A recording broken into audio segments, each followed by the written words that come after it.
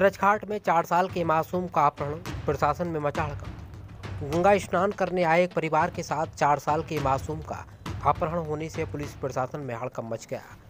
Police मुकदमा दर्ज कर अपहरण हुए बच, मासूम बच्चे की तलाश में जुट गई है। आपको बता दें कि खबर उत्तर प्रदेश के जनपद हापुड़ से है।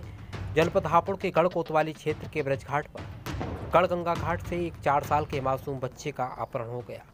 गंगा स्नान करने आया परिवार गंगा घाट के पास ही एक दुकान से कुछ सामान लेने के लिए गया था, जिसके बाद चार साल का मासूम बच्चा नितिन परिवार के साथ से अचानक गायब हो गया। जिसके बाद परिवार में हड़कम मच गया। आनंद फान में पुलिस को जानकारी दी गई। पुलिस को जानकारी देने के बाद पुलिस ने गंगा घाट पर लगे सीसीटीवी कैमरे खंगाले। सीसीटीवी कैमरों में एक व्यक्ति मासूम बच्चे को ले जाता हुआ दिखाई दे रहा है।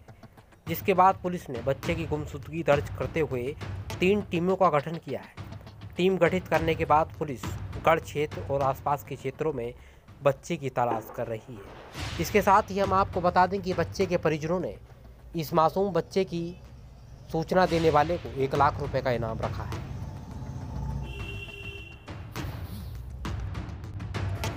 सर, हम गाजियाबाद से आए थे, कृष्ण नाम है मेरा। मेरा पोता गंगा स्थान से चार बजे किसी ने उठा लिया है। हमारा हम गाजियाबाद से आए, गाजियाबाद, रविदास नगर हमारा मोहल्ला है। और भी यहाँ से बच्चा हमारा किसी ने लापता हो गया। हम बच्चे को उठाने वाले की फ़ोटोज देखने में मिली है। और जी, पुलिस हमारी सहायता कर रही है और गुमशुदा की, वो फ़ोटो वगैरह ये हमने निकलवा दी है। मेरा भाई नीरज गंगा स्नान के लिए आया था। वो उसके साथ उसका छोटा बेटा भी था, जो चार साल का है। मेरा भाई नीरज जो है, प्रसाद लेने के लिए एक दुकान पर रुका। अपने बेटे को उसने एक तखत पर बैठा दिया, प्रसाद ले लिया। प्रसाद देने के लिए, लेने के बाद जैसे ही उसे पैसे देने लगे तो पै, ध्यान पैसों में चला गया और पैसे कटवाने में प्रसाद लेने में इतने ही बच्चा जो है वहाँ से खिसक गया या उसे किसी ने उठा लिया वहाँ से ये पता नहीं चल पाया हमने उसे काफ़ी तलाश किया चारों तरफ़ ढूंढा लेकिन वो नहीं मिला। उसके बाद हम थाने गए थाने में चौकी गए चौकी में हमारी रिपोर्ट लिख ली गई है।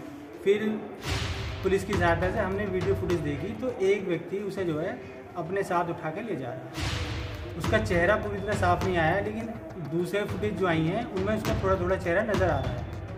अब हमने और फुटेज भी निकलवाई हैं, उसे क्लियर पिक्चर के लिए उन्हें भी देख रहे हैं। पुलिस ने हमारी काफ़ी मदद करी है और और भी मदद करने के लिए वो तैयार हैं। जैसे ही हमें बच्चा मिलेगा, हम आपको सूचित कर देंगे और किसी और को भी मिले तो हमारे बच्चे की सूचना में दे दें। ये उसका फ़ोटो है। फ़ोटो दे देना।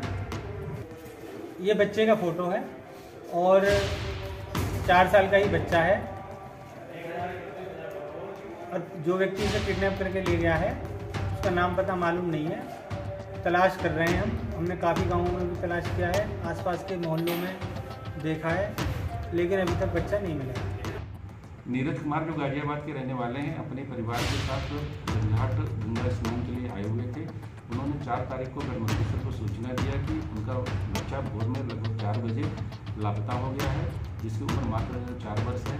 इस सूचना पर तत्काल अभियोग पंजीकृत किया गया। इसके बाद इसमें तीन टीमों का गठन किया गया। ये तीनों टीमें लगातार केस के अनावरण और बच्चे की बरामदगी के लिए प्रयास कर रही हैं। इसी क्रम में उनके द्वारा सीसीटीवी फुटेज को भी देखा गया। सीसीटीवी फुटेज में एक अज्ञात व्यक्ति एक छोटे से बच्चे को ले जाता हुआ देखा पड़ रहा है। उसकी पहचान की जा रही है। शीघ्र ही बच्चे की बरामदगी कर केस का सफल अनावरण किया जाएगा।